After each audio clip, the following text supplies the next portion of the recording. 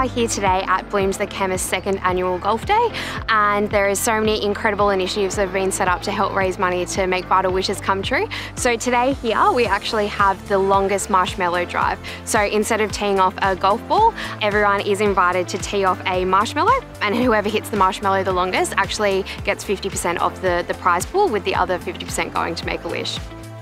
It's really important for charities these days to have uh, good corporate uh, partners who are socially responsible, and Blooms is one of those. And everyone needs to chip in, not only individuals, but probably more importantly companies, because they have more pulling power, they have more connections, more networks. And get a day like today, golf day, is not easy to raise money, but uh, Blooms has done a fantastic job. The best thing about today is we've got, you know, a, a great arrangement of people that are playing.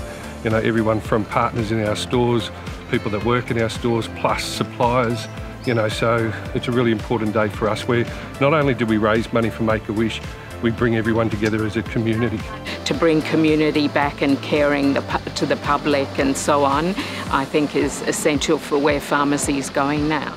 With the support of organisations like Bloom, since partnering with Make-A-Wish, they've actually raised over $515,000 to help make wishes come true. So we have an average cost of around $10,000 for each wish.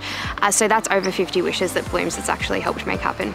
I finally got up the courage and I was like, you know what, Mum, like I want to help people have water because we are so lucky. The biggest impact for Make-A-Wish was that is the first opportunity and the first choice I get to make after this long road of like just having to listen to what adults told me I have to do, it's helped me to just kind of see like the direction of my life and where I want to go. And definitely every chance I get to pass something forward, that's what I want to do.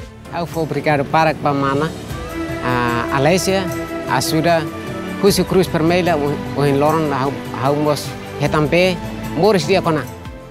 I know when one of my kids ever got sick, you'd do anything to ease their pain and get them well again, you know? So this is a just a wonderful platform to help families. And so anything to create a good feeling in a family. And if that's granting a wish for a kid, brilliant. Yeah, people who are suffering to have um, an opportunity to have, I guess, a normal life, and that's what Make-A-Wish does. That's what, I guess, what Steve Waugh Foundation does. It enables people have opportunities that otherwise wouldn't have. So I think uh, everyone deserves um, opportunities.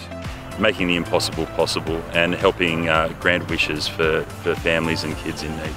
So to all of you guys, thanks very much for coming along, for, for having a presence here and having a bit of fun with us. It's, uh, it's, it's really good of you to attend. Thanks so much for your support. A big thank you to all of our sponsors. You know, we can't do all of the things that we do with Make a Wish and uh, uh, continue to grow and achieve our strategic objectives without your support.